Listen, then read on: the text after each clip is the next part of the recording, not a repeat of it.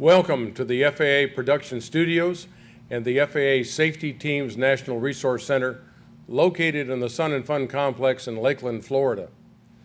Our next presenter comes from a family of pilots and he started flying in 1963. After college, he joined the Navy and has flown over 247 different aircraft and retired as a captain of a Boeing 747. He is currently the FAA Safety Team Manager in Saddle Brook, New Jersey's Flight Standards District Office, and his topic today is takeoff and landing in vintage aircraft. Let's welcome Bob Thorson. Thank you all for the kind words. Thank you very much. Good morning, everyone. As Walt mentioned, I'm from Saddle Brook, New Jersey, and I also do part of the lower New York State area. And I want to talk specifically about some of the operations that I've seen in the last several years on vintage and surplus aircraft. Now, I have to give you a slight definition. And when I say vintage, I'm talking about most of the airplanes that have round engines that are over 25 years old. And the surplus aircraft are those that we know that have a military history and have been uh, set up as um, I guess, a, a, recreational or leisure airplane, many of the ones that we see all over the world flying. Um, this may be a little bit different than what you're used to seeing for a definition of warbirds. And uh, as we go on, I'll get into more specific definitions. Um, I'm Bob Thorson. Uh, Walt gave me an excellent introduction, but I'd like to tell you that I'm a pilot just like every other one of you in the audience. Um, I've flown for the airlines, I've flown for commuters, I've flight instructed, and I've flown warbirds. I've pursued aviation as a vocation and also as an avocation. It's given me a lot of great years. I have a great deal of passion about it, and you'll see that as it goes on. And most of the people that know me know me that I'll have grease on my uh, hands and elbows 10 minutes before an air show, and I'll be out there flying the airplane as well. I want to take just a second here to thank a lot of people because I didn't make this speech on my own. Um, Doug Rozendaal from the Commemorative Air Force and I talked quite a bit. Um, what I'm going to say today is maybe not too different from what you heard at the National Warbird Operators Convention a couple of months ago. Um, and I'd also like to thank the EAA and the EAA Warbirds chapter for putting uh, Sun and Fun on and sponsoring these types of forums all around the country. We're here because my basic job is to reduce accidents in my specific area uh, by education and outreach, and this is one of the things I do. Um, I don't only do warbirds, I do helicopters, uh, general aviation, and air carrier work as well. I just picked this warbird topic today because it's near and dear to my heart and it's a lot of fun for me to do. So we want to talk about some of the things that I've seen by history and also by the statistics. And then I want to tell you a few things that we can do to lower the risk. In other words, mitigation strategies uh, for flying warbirds and also vintage airplanes. I'm going to do a historical piece first about what the statistics tell me. Um, the statistics were prepared by the Accident Investigation uh, Office in Washington, D.C. Um, hopefully, uh, this is a custom presentation of these statistics. And I've taken some liberties when I did that. I took the helicopters out because a lot of them were used um, in law enforcement, and uh, some of them were used in agricultural work and external load. In other words, they were previous military airplanes, and public agencies took them over to use. Um, we want to talk about education and outreach because frankly, I wish I could do something so easy as to reduce the accident rate because I can't do it. You really have to do it. I need to convince you and every one of you that fly airplanes to do some type of strategy and some type of planning before you fly to reduce the accidents that you may put yourself in a position to get involved with. Um, I think a little bit earlier in this week, uh, one of the other FPMs from Washington, D.C., Karen Art, talked about risk management. I'm not going to go into that deeply because I think most everybody at this point in time understands risk management and what we're talking about. Basically, you look and see how you can get yourself in trouble and you do something about it before you put yourself in that position. And then once again, I want to talk about best practices because there are some things that pilots do as a group that are best practices that reduce the chance of you having an accident. I took a 10 year um, cut out of the statistics from 1999 to 2008. And the people in AI 100 gave it to me in a Excel spreadsheet with just the numbers. Now, these aren't, I should kind of correct myself because these aren't rates, these are actually counts of worldwide warbird accidents.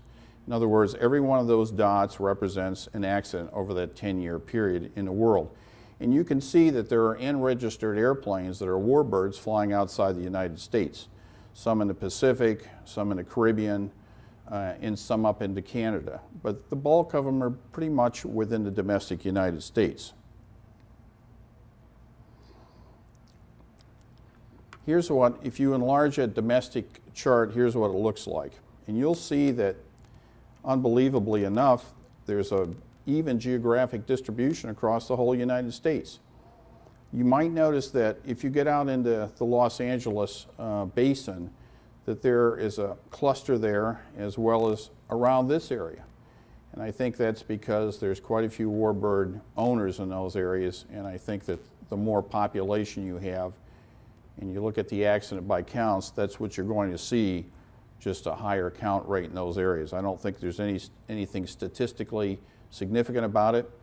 I had somebody from our 290 branch in our region up in New York who is a statistical analysis agent go back and look at all these things and see if he could come up with anything. And the only thing he told me was that there were a high number of accidents during maneuvering flight.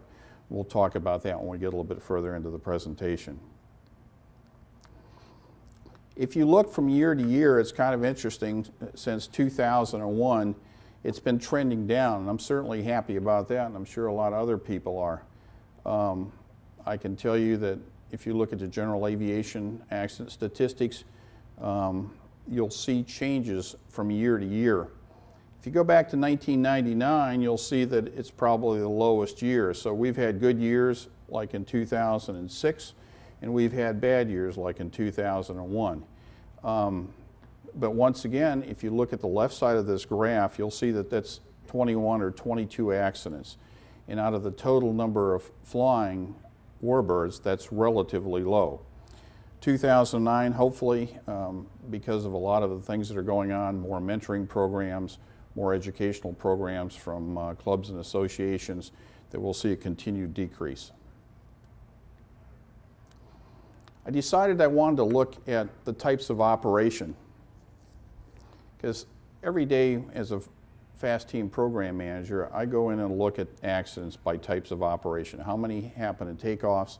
How many happen in landings? How many happen on approach? How many out of circling approaches? How many of them were helicopters, gliders, and, and the like? And for a warbird specifically, I don't really see anything much different. You'll see that roughly half of the accidents occur in the landing phase. Um, and a little bit during a takeoff, maybe 25% of the total are during takeoffs. You'll see that light blue section up to the um, uh, top of the uh, pie chart that says maneuver. I used a little bit of a different definition. If you go in the regulations, you won't really see a maneuver definition. If you go to the latest um, Nall report, you'll see that they consider a maneuver anything down to basically short final and shortly after takeoff. Maneuver for me is anytime the airplane is doing anything not necessarily acrobatic, but outside of the pattern. So you, warbirds, you typically have a higher number of aerobatic um, operations going on, and you typically see people flying 90 degree or 360 degree overhead approaches, and this isn't what you would normally see in a general aviation fleet. So I pulled a maneuver out and you can see that, that um, anything that has to do with low airspeed or close to the ground, which means takeoff, maneuvering, and landing, is pretty much 80% of our problem. Climb, cruise, descent, and the go-arounds, they're relatively small. It's kind of surprising because I would have thought that in a go-around in an airplane with a large engine, you'd see more problems. You know, historically, you've heard the, the rumor about P-51s on torque rolls or an A-1 Skyraider doing a torque roll on takeoff or sudden application of power, but we don't see those types of accidents happening. We normally see them happening when the airspeed is low and the closer to the ground that you get. I also cut them out by types of aircraft. Now, I pulled most of the helicopters out, as I told you previously, because they don't apply. Um, a lot of surplus helicopters that came from the Army and the Air Force and the Navy are used in airborne law enforcement, ALE as we call it. For example, several major cities around the country use them um, in the law enforcement mode. And that's not really what I wanted to talk about. Those folks are in a different breed and category and a type of operation compared to what we normally see. These are strictly propeller and jet-powered airplanes and some helicopters that are involved in doing uh, air shows such as Sun and Fun or the EAA AirVenture at Oshkosh. And this is what I see. It's basically propeller airplanes, and that's we all know that because the bulk of the airplanes from World War II and Korea are what we all know and love, and they're the ones that compromise the largest part of the fleet. But you can see that that turbojet blue area is almost 25 percent of the total. And um, as, as you look at the statistics like I do on Monday mornings and most mornings, uh, there's a fairly large number of classic war jets or warbirds that are having problems. And that population is growing tremendously as well. So we need to reach out to those folks and talk to them about some of the things that are going on today. I can tell you that the guys that I hang out with are probably all my age and are mid, in my age, in their mid 60s, and um, we're not the 18 year olds that were flying the F4s in Vietnam and the A5s and the A4s and the Sky Raiders and all the different airplanes.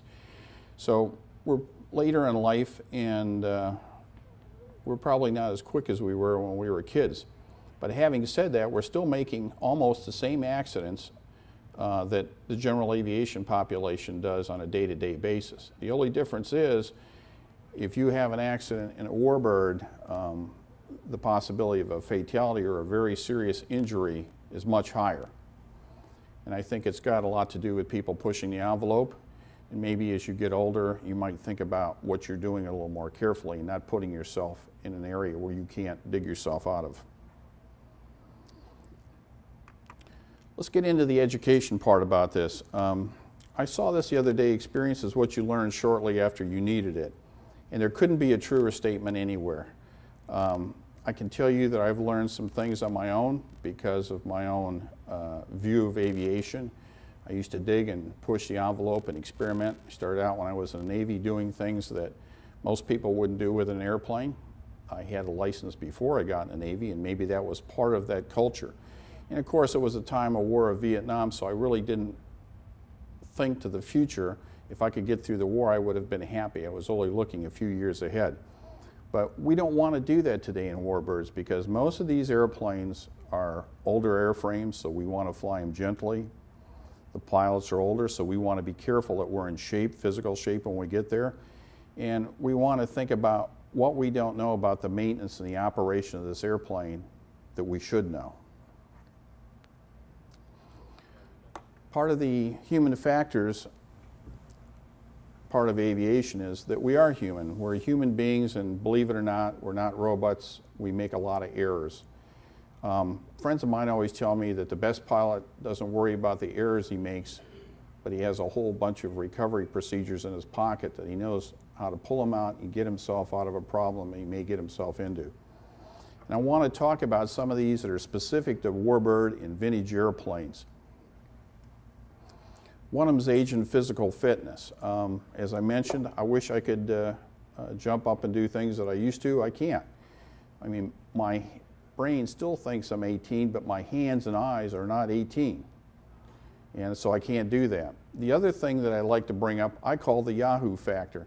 Now, we learned this week at Sun and Fun that there are several other pilots around here that understand what I'm saying, but they call it differently. Like Corkey Fornof calls it the yippee factor, and you may have noticed that on the belly of his airplane, he's got yippee on there, which is great. But it basically always goes down to the uh, loss of inhibition. And what I'm going to talk to you about a few things that, that cause this loss of inhibition and put you into a position that you didn't want to go to in the first place. I want to talk about egos. Everybody's got an ego, and warbird pilots have fairly large egos and rightfully so because they've gotten to that part in their flying career that they can afford an expensive airplane. They got qualified in it. They're very proud of it. They've probably spent many hours uh, working on it, restoring it, polishing it, and that generally strokes your ego. And I, but I want to tell you about the downside of that and how to keep that under control. Habit patterns. You know, flying is a habit, believe it or not. And what you do every day in training in testing is what comes out when you have an emergency. So if you don't do it today, if you don't train right today, if you don't test right today, when your time comes, you won't be ready to perform. The other thing I want to talk about is awareness. I mean, one of the biggest terms in aviation is situational awareness, but I want to talk to you about it in a broader term about just general awareness of what's going on and how you can change your awareness by a close-in focus and a distant focus in what causes that to occur. Let's get into the specifics about age and physical fitness. Everybody's got a chronological age and everybody's got an actual age. You can look at any of your friends and some people age better than others and some people don't age as well. And depending on your occupation, you may keep your muscles up to a better strength than someone else. If you're flying some warbirds like an A-26, it takes a great deal of arm strength to muscle that airplane around. Other airplanes, the fighters, they're fairly light on the stick. You don't need that much muscle. But if you're my age and I'm going to fly an A-26, you're going to see me at the gym much like the Blue Angels are at the gym every day, working on my upper arm strength because I know I'm going to need it in that airplane for a lot of maneuvers. The other thing is, is chronologically, um, uh, certain things happen to you. You probably sleep less as you get older.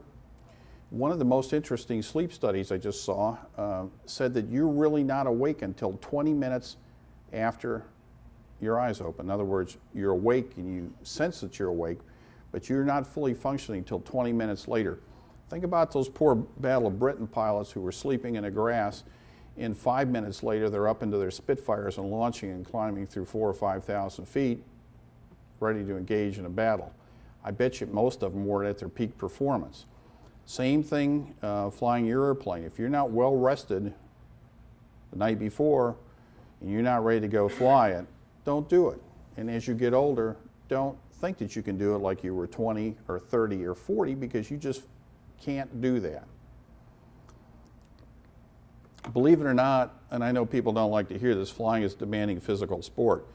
And my AME happens to be a, a very good one. He is a senior AME, and he's also a lawyer, so I get the benefit of asking legal questions about aviation while he's giving me my medical examination. And we talk about it being a demanding physical sport all the time. Um, if you think back about World War II or pre-Korea or pre-Vietnam eras, most of the military did calisthenics. And the reason they were doing calisthenics is get the muscle tone up, get the brain pumping more blood, and getting all the physiological parts of you up to speed to fly a military airplane. Now, I can't tell you how many people that I know don't do that. If you're flying a P-51 today, the same physical demand is on you as any of the pilots in World War II or Korea. You need to think about that. I'm talking about some physical conditioning. I'm not necessarily talking about the grueling uh, physical conditioning that maybe the Blue Angels go through, you know, prior to show. But if it's spring, like it is now, it's the start of the Seymour, uh, Seymour Johnson Air Show, is the start of the air show season this weekend, you need to have gotten yourself into some good flying physical condition before now. You need to start thinking about it back in January and February. And so that there's less of an impact upon your ability to fly. If you're not physically fit, you're not going to do as well. If you have a problem, you're not going to be thinking as well. If you're pulling a lot of G's like some of these acrobatic pilots out here, it's going to tire you out a lot quicker in a routine.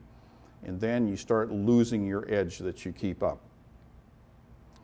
The other thing is at shows and anytime the heat and dehydration um, is a very serious issue about physical fitness. Um, and any given day, I can tell you that, that um, you should drink probably between five and eight glasses of water. And if you're one of these shows, you should be probably drinking a lot more. If you look at most of the competitive people in the International Aerobatic Council, you'll always see them walking around with a water bottle, and there's a very good reason for that. Your body needs water to make you uh, provide peak performance and also peak mental performance. If you fly in an airplane that's got an open cockpit or a glass canopy, this is taking the water out of your body at a much higher rate. And I can tell you, I've flown a B-17 probably for 16 or 17 years at Memphis Belle with Dave Tallichet. And at the end of a day, I probably have lost five to six pounds of water loss just sitting in that. And it's not an all glass canopy. I mean, we have plenty of windows, but it gets so warm in there, there's no air conditioning. So that's another part of this uh, age, uh, physical fitness part of flying. Doug Rozendaal and I were talking about the use of oxygen, and we had differing views, and I'll tell you why. I've done a lot of my warbird flying in England. And you'll see the people in England always have in their Spitfires or any of their airplanes, Hurricanes, they have their oxygen mask on shortly after start because there's a great amount of carbon dioxide coming off the engines. And uh, we should probably think about that with our flying in this country. If you have an oxygen system built into your airplane, I would suggest you use it. This is also true for the cross-country part because I noticed that a lot of the warbird guys are flying higher and higher to stay above the terminal flight restrictions, TFRs, so they don't have to worry about getting violated. What they're doing is they're flying up in the mid-teens put that oxygen mask on. I know a lot of people can sustain flight at 12 to 14,000 feet without oxygen, but I'll tell you what, after a two or three hour flight, when you come down into the pattern here, you're going to see a tremendously reduced performance if you're not breathing oxygen. The other thing is, is if there's a fire um, in your airplane, you have that oxygen mask on and a helmet on, you've got maximum protection. Um, there's been a couple accidents in the last month of pilots and warbirds getting severely burned because they didn't have the proper flying equipment on. Nomex gloves, Nomex flight suit, oxygen mask covering your face, and a helmet. The last thing I want to talk about in this area is fatigue. Um, I flew 767s and 747s most of my life for an international airline, and I can tell you that I've been on my hands and knees after flying for two or three days, particularly coming back from Tokyo. My body would just not adjust to the time zone. I've tried all kinds of techniques. I've sat outside in the sun. I've changed my eating habits, more protein, less carbohydrates, and everything I can. But in the end, your body, when you move those circadian rhythms by crossing time zones, they need a certain amount of time to catch up. And if you don't do that, and you come to a show and you've just been on the other side of the earth, you're asking for problems. Or even if you just want to go training your warbird on a Saturday. Um, I can tell you that when I was in England, there was at least two or three accidents eh, of pilots who lost control of the airplanes doing very low altitude acrobatics. And when they went back and looked at their history of what they had been doing the last four or five days, they were out flying on a different part of the earth and they were very tired. They got back home, they probably had four to six hours of sleep and they were at an air show doing acrobatics. That's not really good. I mean, you're setting yourself up. If you don't think about these things and give yourself a breathing room and making sure you're fully rested, um, you're going to cause some problems. There's also cumulative fatigue if you're on vacation and you're spending a week or two someplace else and your body gets adjusted to, say, Italy or India, and you come back to the States and you want to fly, I think I'd give yourself a little bit of a breathing room on that as well. The Yahoo factor, or the yippee factor. The psychological term is a loss of inhibition. I did some studying on this um, with Scott Chappell, who is one of the noted uh, human factors guys in the United States. And it's kind of amazing uh, that it really goes back to your personality trait in your earliest childhood. I don't want to get too much into the psychological part about it, but I want to tell you some of the triggers that you might see to cause you to get a loss of inhibition. Now, I can tell you there's probably not a person watching this presentation today that hasn't thought about getting in the airplane, pushing the power up, snapping the gear up, keeping it low to the runway, and pulling up into a barrel roll at the end of the runway. Well, you know, if you have all the waivered airspace and you have all the credentials and you've been approved by the authorities to do that, good luck. But the problem is, is that everybody has that in their mind and most people don't do it because that inhibition prevents them from doing that type of maneuver for a variety of reasons. But there are some personalities um, that, are, that don't have that high of an inhibition, and they will do a maneuver like that. Two of the biggest triggers that you're ever going to find, and particularly at an air show, are the camera or peer pressure.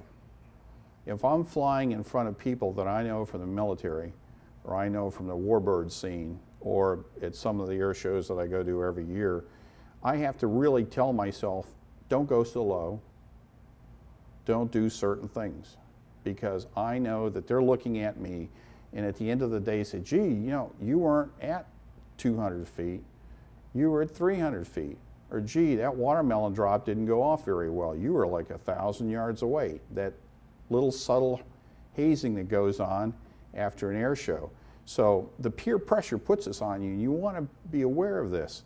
You know, don't do that because professional discipline in aviation is everything, particularly when you're flying warbirds. The other thing is the camera. The camera makes people ham it up, makes them do all kinds of crazy things. If they know somebody, even if it's a neighbor at a private strip taking a picture of you in your Yak 52 doing a couple slow rolls or a high speed pass for some reason with a certain personality and those two triggers, you end up with the same um, end result. Be careful about those types of things. Don't let that Yahoo factor get in your way. This is also true of pushing the envelope. Some people have very um, aggressive flight characteristics. They don't care about going over air speeds, going beyond airframe limits. They say, well, it's built to 150%. So if I can do a 5G maneuver, why can't I do a 7G maneuver? Well, that's pushing the envelope beyond what the airplane was designed to do. You shouldn't do that. Stay within the parameters of the airplane. And the older the airplane gets, you know, these things, it's really hard to tell if you're flying a wooden airplane, how good is that glue bond? Is it going to hold together? How good are all those cables on the wings? How strong are your spars? How much corrosion has occurred in the spar that you're not aware of? That airplane may be not capable of only holding the book limits. If you stay to the book limits, there's a little buffer between what it was designed to do and where you're flying. So don't push the envelope. Don't try maneuvers that, that your airplane is not designed to, to do. I watched somebody this week do something. I've seen a couple things this week that I personally would never do, and uh, I doubt if Bob Hoover would do it. But the guys are very good at, at what they do, and I'm sure they design some safety and some mitigating factors into it. But if you're an average warbird pilot, don't push the envelope. Don't do new, new maneuvers without training practice. Any good person knows that they'll go to altitude first, four or 5,000 feet, if you have a new routine or a new maneuver you want to perfect. I've just lost a good friend less than a month ago that didn't have a lot of experience doing acrobatics. And uh, while the final conclusion's not out, um, everybody that saw it, including his son, um, pretty much know the end result. And it was a new maneuver, and he had not practiced it at altitude. Had he had a few more thousand feet, he might be with us today. So don't do new maneuvers without training practice, without somebody with you that's doing that does it regularly, that can train you and walk you through it. Um, one of the things that help our mentors, I can tell you that the EAA Warbirds magazine last month was wonderful. They brought up more safety issues and more mentoring issues than I've ever seen. Mentoring typically can happen within a group of pilots. It can happen through an organization such as EAA Warbirds, Commemorative Air Force, uh, CJAA for the jet folks, and any other number of ways. The guy that originally taught you how to fly. But if, if you mentor somebody, try to keep them under control. I have a couple of young kids that I got into the National Guard, and you know we have a lot of talks about not, they have a lot of energy. I said, please don't get yourself too far on that limb. That, you know, they're, they're pushing all the time, and they're good, but you know, I try to rein them back, and I would suggest that you do the same thing. Pay attention to the articles in these magazines that mentor, and pay attention to your uh, friends that fly the same type of aircraft. I talked about egos. Um, they come in varying sizes and shapes. You, you can't say that every P-51 pilot does a certain thing or every B-17 pilot has a certain characteristic because you're not in the military. You haven't been psychologically pushed into a hole or tested uh, to be a fighter pilot or a bomber pilot or whatever it may be. So we have people of all different backgrounds, some people that are working in industry, uh, in the stock markets that are doctors, that are plumbers, that are one of everything, and FAA inspectors like myself that do air shows, and you have all different kinds of varying egos. So when you're flying with somebody, particularly in formation, get to know them, spend some time with them. Uh, I don't let anybody fly on my wing unless I know who they are, much like I won't work on a uh, flying airplane unless I've worked on it and I know the mechanical condition of it. Ego and peer pressure. If you get pushed with a large ego by your peers too much, what will happen is they'll pull out of the group. I was at the Reno Air Races three years ago, and one of the world-noted astronaut was there. And I wanted to get, go up and say something to him, but whoever was running the air show, and he had had some kind of a conflict. And a group of Warbird pilots that were running the pylons there, I guess must have been tough on him. So he decided that he was going to sit over in this row and separate himself from the crowd. And that's when you see that, the first thing you want to do is if you get a chance, get with that person and bring them back into the group and keep them within that group because when guys start going off on their own, that means their ego is out of control. Don't let that happen because, and don't let that happen to you in particular. We all lead busy lives today no matter where you go, somebody's pulling their cell phone out, pulling their computer out, pulling their iPod out, meaning, you know, making the kids' ball games on Saturdays, having things to do at work, having things to do at home. You know, if you're going to go fly, give yourself some breathing room. Pick a time that you know that you're going to be up, up to speed. You know, a lot of people will fly on a Saturday morning. I particularly think that's a good idea because it's the end of the week. You can sleep in and you're rested and you're ready to go. But don't let your time, or your schedule pressure you into doing something. A lot of people say, their egos come and talk and say, I can do anything. I can do anything with any amount of time. One of the things about military trained pilots um, that I like, and this is my opinion, is that the first thing that they learn is how to keep their egos in check. And it's mostly because a drill sergeant is sitting there threatening you to within an inch of your life. They push you as hard as they can. They don't let you sleep. They physically run you around all kinds of obstacle courses and cross-country courses, and they push you into such a degraded mental and physical state that they want to see if you can still maintain discipline underneath those conditions. Now, if you had to do that today to own a Warbird, I don't think you'd get too many people buying them, or even surplus airplanes, or vintage airplanes. But you need a little bit of that discipline to keep your ego in check, and I hope you try to think about that before you go flying. Discipline is everything in flying. Another subject is habit patterns. Um, I can tell you that, that I have a very nice parrot at home, and I train him to do certain things. And he's an animal like any other animal. And we as humans are in some ways exactly the same if I do the same thing with him every day, he will expect the same thing every day. And he will respond in the same way. And that's true of the human. So before you go fly, if you get into an airplane that's new and you haven't flown much, spend some time in there running through all the switches, running through all the checklists until you're very comfortable in the airplane. Too frequently today, you know, I see guys jump from airplane to airplane to airplane, and don't do that. Well, you're increasing that risk. Let me ask you something. All airplanes that I've ever flown take off and land on the main tanks. I'm assuming everybody would agree with me. Is there any warbird that anybody can think of that does not take off and land on the main tanks? Well, one that comes to mind to me first is a P-38.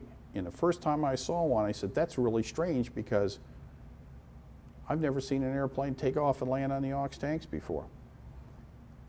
And if you got in that airplane and you reverted to your normal habit pattern, you were new to it, and you didn't reinforce that, you didn't use the checklist, say, oh, I've landed 100 times, I don't need to pull a checklist out and make sure I've gotten everything completed. You're going to have a problem. The other thing is tailwheel airplanes. All tailwheel aircraft generally raise the tail wheel on takeoffs and do a wheel takeoff. There's very few airplanes that do a three-point, except which one?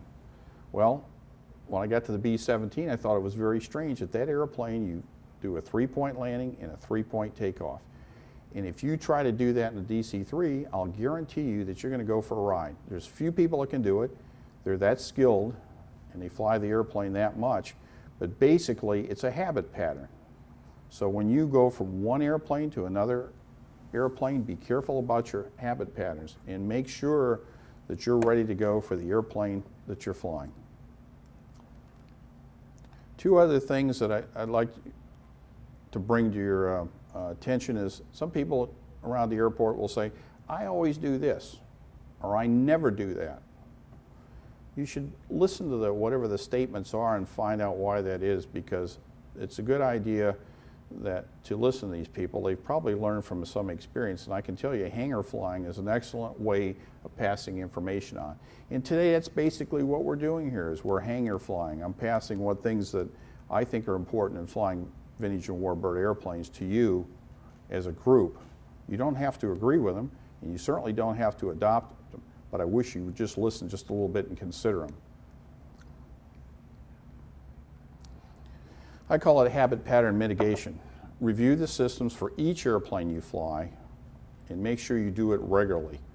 Um, I can tell you that the airlines and 135 operators have the lowest accident statistics because they're forced into doing this. They are forced into systematic checks every six months. A lot of times you'll get into somebody else's airplane. I have a friend that lets me fly his N3N and while it looks like a Stearman, it's considerably different. And when I get in there, I have to remind myself of certain things. It's got a lockable tail wheel. Stearman doesn't have it. It's got four ailerons. The Stearman doesn't have four. It's only got two. I said, well, gee, this is not a Stearman, although it looks like it. And it feels like it. It's not. If you don't lock that tail wheel on landing, you're going to have a great time. You're going to learn what your feet are for. It's a real experience. So make sure you go around all the cockpit switches and handles and levers and look at them and make sure you know what they're for. It used to be an old military joke that if it's not shiny, don't touch it. I don't think that rule's ever changed, not even today.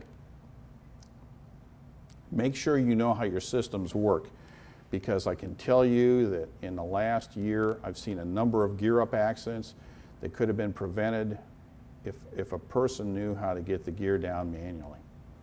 There was no reason to land with the gear up. Make sure you know how it works. Make sure you know how much usable fuel you have. Don't run your tanks all the way down to the bottom. In practice emergency procedures, I can tell you one of the things that the Navy used to do that I really liked is before, every time before you went to fly, we'd go over one emergency item. We'd grind it upside down and why you did this and why you didn't do this and go through it. I would suggest you do the same thing periodically, particularly in the spring, because maybe you haven't flown for three or four months over the winter months. If you're like me, up where there's a lot of snow, and the you know between the winds and the snow, we haven't gotten out a lot this winter. Make sure you practice your emergency procedures over and over and over again, because if you don't, the second you have a problem, you're going to feel tremendously uncovered Make sure you know the mechanical status of your aircraft. Um, I mentioned to you before, I do a lot of warbird flying. I won't fly anybody's airplane unless I've worked on it. That's just my own personal rule. That's what I do to protect me. That's my mitigation strategy, my best practice. I do that, and it forces me to know the systems and know the status of the airplane. The last thing I want to talk about in this regard is awareness. Make sure you're fit for flight. Um, Scott Chappell told me a very interesting story when I was down talking to him a couple months ago about he had a car accident. And I said, Wow, how'd you do that? He says, I've never had a car accident before. I said, Well, what happened? He says, I take the same road every single day to work. And there's a stop sign about a third of the way to work. And I always stop. And I didn't stop this time. And somebody was coming on a cross street. I said, How come you didn't stop? You know, you saw it? He says, You know, I didn't see it.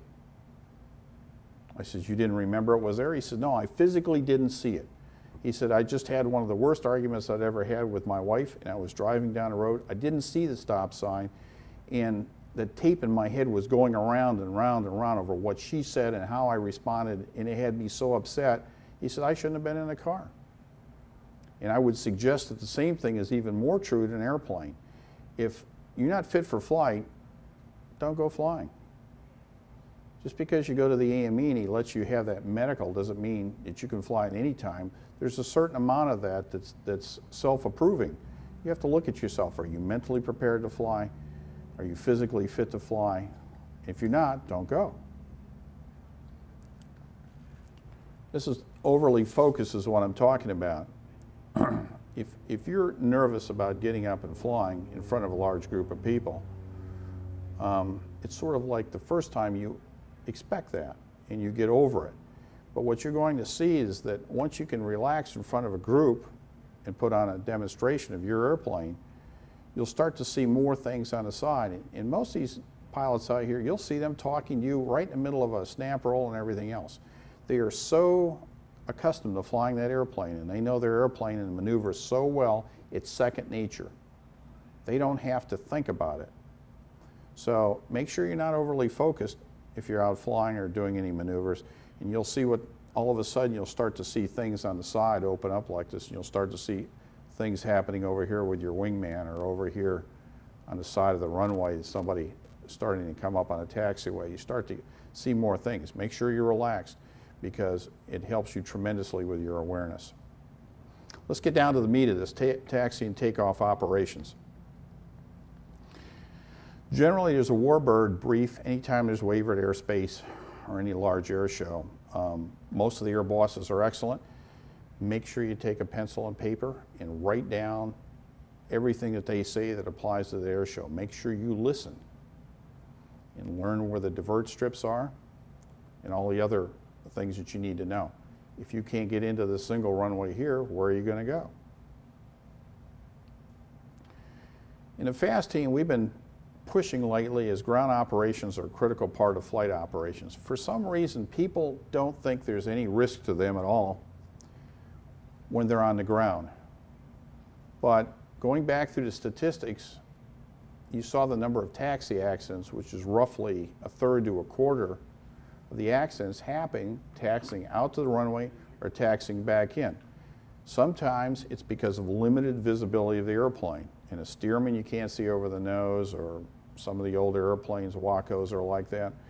Um, F6X, F6Fs, uh, TBMs, all these Grumman built airplanes are very hard to see over those P-51s. So you see the guys, typically their mitigation strategy is the S-turn. But I don't care what kind of airplane you, you fly, you need to look at being very careful about taxing on the ground. Where are your wingtips and where is your prop? And if you're a fairly large airplane like a TBM, is there anybody underneath you that you can't see? Don't taxi too close to anybody in front of you. And be aware of your prop blast behind you because you are, as a pilot command, responsible for that prop blast or the prop wake. Some of the other mitigation strategies that you want to think about about taxing and taking off are performance calculations.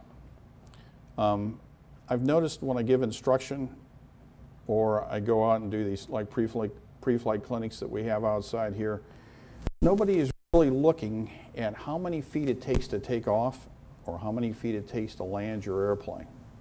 I can tell you once again, going to a, a structured environment like the airlines, they have performance calculations that are done by the dispatch office, and then also the captain looks at them and double checks them. I would suggest you, when you fly your airplane, that you need to sit down and look at what the performance calculations are for your specific operation. If you're in Denver, obviously you're going to have a higher ground speed and require more runway than at Lakeland. But of course, it's damp here, and it's, I think yesterday it was some 90 degrees. That's going to decrease your performance a lot of both your engine and the wing. Go in there and look at the, the book, and most warbirds have excellent performance charts. Now, if you don't know how to read those performance charts, call me or go to your local chapter if it's a T28 group or a T6 group. These guys know how to do it. Go back there and look at those charts. They were developed years ago and they're very good. They'll tell you exactly how many feet it'll take you to take off and land. The other thing is, is when you go, watch how many feet it takes you to get off the ground and then compare that to what the book says. You may notice that for 100 low lead gas, you may not have all the performance that you would have gotten out of 115, which is no longer available. On our B-17, we're the only one in the world that has turbos, and those turbos make up for a lot of that. So I, I, can tell you that I watch our takeoffs versus everybody else. We normally get off a little bit shorter. Thank goodness we have the turbos. But if I went to fly a non-turbo airplane, I'd have to go back and look at those performance calculations and make sure on a hot day that I have enough with the gas load I have to get where I'm going and also to get out of that size strip. So please do that. I mean, these are things that, that most people are taught at the private pilot level and I'd like to reinforce, you know, at your current flying level. Weight and balance is something else. Um, most people say, well, I didn't put anything in the airplane and I didn't take anything out but the gas and why should I do weight and balance? Well, that's true, but when that airplane was built, it had a certain weight and balance. And you may have added radios. You might have put an extra oxygen bottle in it. You may have made a modification in the back to put your clothes on for cross country and because most of these single seat warbirds are, have limited space. You know, go back and take a look at what these things do. I can tell you like a Spitfire, the world's fastest airplane in a dive, Mach 87, if that aft fuel tank's got fuel in it and you're doing that, you got a problem because you're going to lose control of it shortly. Just that small 37 gallon tank behind the pilot seat will make that big of a difference. You need to look at the weight and balance of your airplane as the airplane currently sits. Look at what modifications you've made, go back and you can change original data. There's many companies nowadays that will do it for you. We talked about situational awareness. Um, on the ground in an air show like this, there's a lot of things going on. There's people flying above you in orbits. There's people taxiing a very different type of airplane. There are balloons coming and going. So be, be aware of what's on the ground. We talked about the S-turns already. And this is a term I want to talk about, progressive taxi. This is basically came down from the military, and I know a lot of people heard it before. If you don't know where you are on the ground or you need help, just stop the airplane, and if it's a, a towered air, airport, ask the tower for progressive and they will tell you left, go 20 more feet, go 100 yards, go to the next light or whatever it takes to get you around, they'll direct you. The same is true that when you pull into parking spots out here, watch these ground marshalers very carefully. Don't go too fast. And I can tell you that almost every show I've been to in the 17, we're going into a tight spot. We only have about 40 feet to go. And what does the marshaler do? He's right down the center line of the airplane. I can't see them. I stop, and they don't know why I stop because I can't see you. If an airplane stops, the marshals should understand that the pilot can't see them. So the guys, after a while, they get the idea and they'll come over here so I can see them and they can see me. We have eye contact and I know what to do next. But follow the marshalers when you're at a, a tight spot. This is also good on an uh, untowered airport if you're going someplace. Watch the line boys. If you don't know, park in some open area and uh, shut the airplane down there. Don't put yourself in a tight spot without either uh, a marshal or somebody watching your wings or your tail. Be careful when you swing your tail because many airplanes, the wingtip will clear but the tail won't. Most of all, taxi slowly. I flew with the same guy who, bless his soul, passed away a couple years ago that he never taxied under 40 miles an hour, and everybody knows who it is. And we used to laugh about it, but the truth of the matter is, is that uh, he was a very good pilot, but he was a World War II pilot. They were taught to crank up and get off the ground as quickly as they can, and not to burn the gas, and to taxi fast. And he never modified his flying. That's very dangerous today. Taxi slowly, so you know where you are, you can make turns, and you don't get yourself in a compromising position with other aircraft or vehicles on the ground.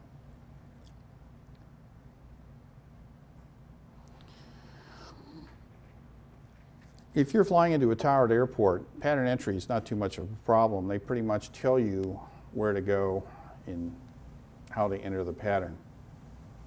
If you're at some place like Sun 'n' Fun or any other air show, um, the air boss is going to tell you what to do and they have fixed flight patterns. Air bosses normally control the field even if there's a tower when there's a waiver in effect.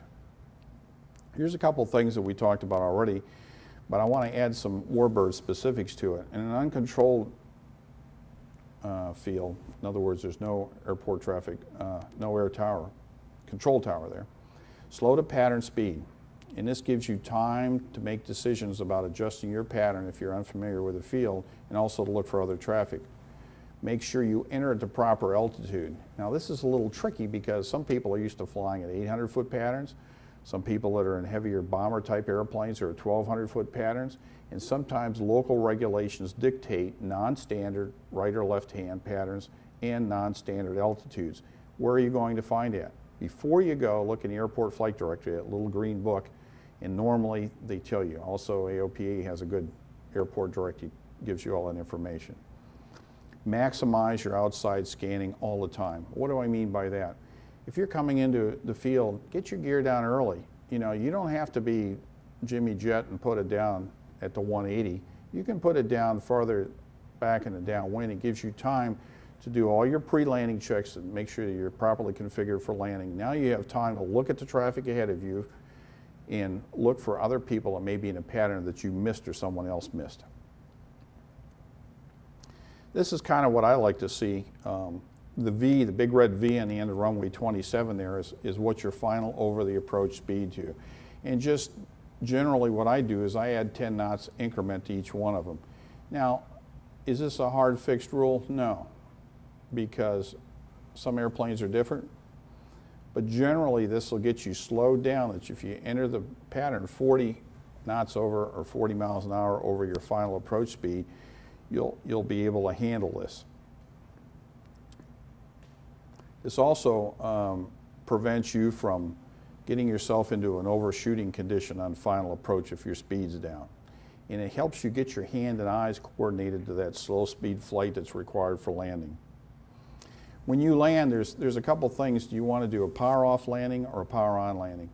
I can tell you that it's a power off landing is a thing of beauty and most people are always taught that, but there's certain conditions that you might want to think about keeping some power on. Besides a crosswind, I'm not going to get into crosswinds. I think everybody knows what to do there.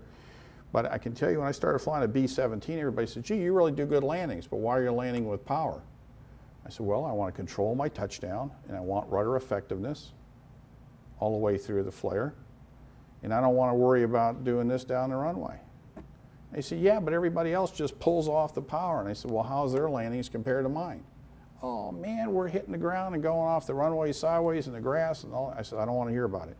I understand what you're saying, but when you have a power off full stall landing, you don't have anything to work with when at the last few seconds. And that's normally why you see loss of control eh, on landing accidents because they're power off and people don't consider that they maybe they should do a power on approach. Maybe you haven't flown for a couple weeks or months. Make sure you manage your flare smoothly. Don't do one of these searching for the ground. Make a nice flare, give the airplane time to settle. Crosswinds, I'm not going to talk about, but I am going to talk about bounce recoveries because if you make a bad landing, make sure that you're comfortable doing a bounce recovery. There's two ways to do it. You can go around, just put the power to it and make sure your right foot comes up with the power or the left foot if it's one of those Russian built engines and go around properly. There's nothing wrong with going around. Or, you know, some airplanes, you, if you're so low and your airspeed is low enough, Just hold the yoke back, just release the pressure just a little bit and let it settle down on its own. Two different types of bounce recoveries. If you don't know, go out with an instructor and work on a couple and see what works best for your airplane. It's okay to go around. If you need to, do it. Nobody's going to complain about that. Make sure you do a stabilized a approach. Um, I like to think 300 feet per nautical mile. If you're a mile out, you got to be 300, 600, 2 miles, 900, 3 miles. That's pretty typical for most airplanes. I don't know any, any other airplane that doesn't do that. But make sure you're stabilized and under control, not decreasing airspeed. We don't do decreasing airspeed or what they used to call decelerated approaches anymore. Just fly a constant airspeed, constant rate approach down. Good landing is a good example for everybody, you know, but look at all these factors that come in here. If you're going to land, run all these things through your mind. How heavy is your airplane? How much runway do you have to work with? How fast is the aircraft? A lot of times what I'll do is if I go into Geneseo with a B-17, if it's early morning and know the grass is wet, I'll make a power off approach. And it might not be a perfect landing, but I know one thing, that I'll, I'll be stopped on a wet grass in 4,800 feet. Um, make sure you don't have a tailwind. A lot of people get caught with a tailwind and they don't realize that a tailwind tremendously increases the amount of runway required for takeoff and landings. Make sure you're on speed. I can't tell you the number of times I've seen accidents last year where people are way too fast. And they say, well, I had a crosswind. Well, that's fine, but you still need to get yourself down on speed. Make sure you respect that stabilized approach Make sure you know if there's a required height over the threshold that you use it. The other thing is, is when you land, put your brakes on. That's part of the goal. Once you're down on the taxi, don't relax now. It's not over. A lot of people relax and they say, well, that's it. I said, well, it's not it. You're not down yet. You're, when you're in the chocks, then you can relax. Half the accidents occur leaving the runway and taxiing back to the ramp. So just slow down, do your S turns, Stop if you don't know where you are and ask for progressive. Follow your ground marshals in, in tight spots. And make sure you know what those marshalers' uh, instructions are. If you go to a military base, you may see something slightly different than what you're accustomed to seeing in the Airman's Information Manual. Just a couple seconds on the safety culture. Like I started out this program saying, I wish I could reduce the accidents, but I really can't. I have to sort of talk you into doing it you know, making me look good. But you know what that takes? Every person that has a pilot's license needs personal dedication and accountability. It's your attitude and your behavior that determines whether or not you're safe. The other thing, if you don't belong to any of these ABC organizations, you need to think about joining them because they do wonderful things to promote safety. They have processes, they have methods, they have people you can talk to about your specific type of airplane you're going to have to make a commitment. Aviation is not the J3 Cub that I started out in where I went out, got a Service A teletype, looked at the weather and went flying. Well, it's blue, we can go flying now. It's, those days are gone.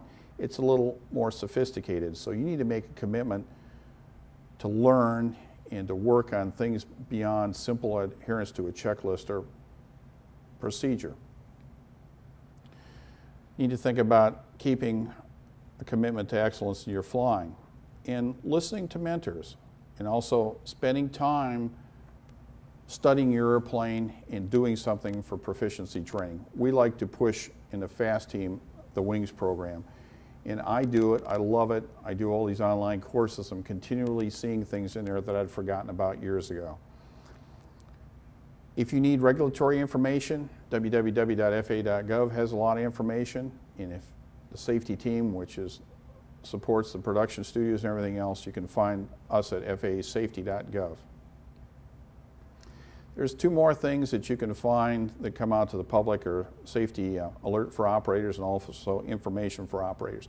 If you join faasafety.gov and you do proper notifications, these info, information tools will come to you along with such things as advanced notification of TFRs, which is a fairly big subject nowadays.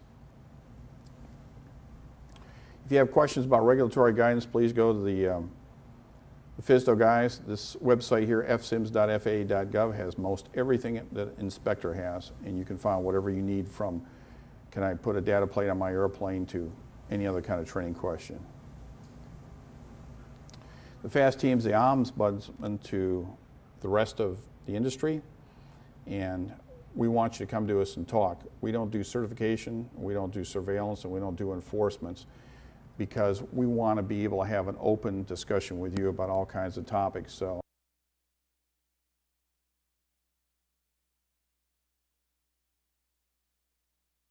And